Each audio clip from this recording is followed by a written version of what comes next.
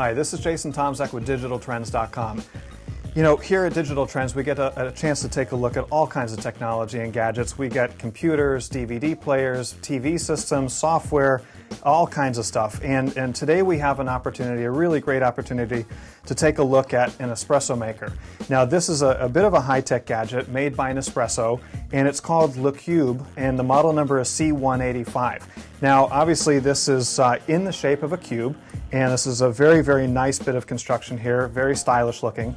And uh, I'll show you a couple of the features. Uh, we've got a couple of plastic gull wing doors that open up uh, to reveal the spot where we've got our uh, espresso cups. And if you take a look at inside uh, this this uh, little compartment here, we've got a couple of metal plates. Now these metal plates are actually heated from inside the machine to keep your espresso cup, uh, cups warm because there's nothing worse than uh, having a really nice cup of espresso ruined by a cold cup. Um, underneath the cups, we've got this uh, little fold out plastic door that uh, is the water storage. So you can actually put your water directly in here with uh, bottled water or take it to a tap. It actually comes out like that, so you can remove it and then put it back in like that when you're ready to brew. And we'll flip it around here. And uh, on the top of the machine, we've got a power button.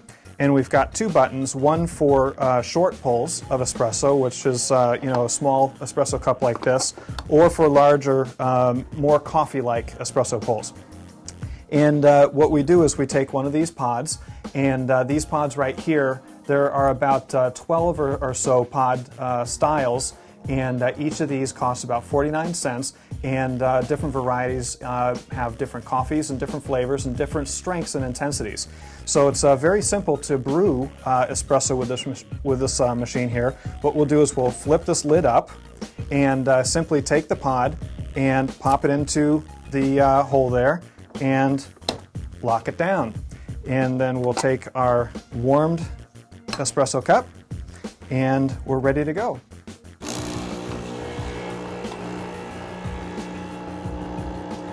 And if you see when this is brewing, this is not just straight black coffee. This is actual uh, espresso with a really thick, rich crema. And crema is one of those things that we look for in a really good espresso.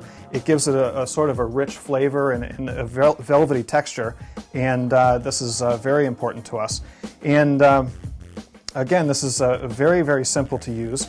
And uh, oh, by the way, Nespresso does have decaf uh, for those people that want decaf. Although at Digital Trends here, we're typically working uh, very long hours, sometimes 18, 19 hours a day. So decaf is not something that we like. We like our espresso strong and ah, tasty.